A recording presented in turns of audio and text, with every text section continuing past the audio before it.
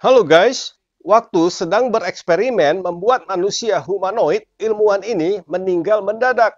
Dan manusia buatannya yang dinamakan Edward belum sempurna. Tapi manusia buatan itu berhasil hidup. Cuma penampilannya aneh banget karena jari-jari tangannya masih terbuat dari gunting dan pisau. Edward pun masih bingung dengan dirinya sendiri dan dia nggak berani keluar dari istana tua milik ilmuwan penciptanya sampai seorang ibu nggak sengaja menemukan dia. Dan karena kasihan, ibu itu mengajak Edward tinggal di rumahnya.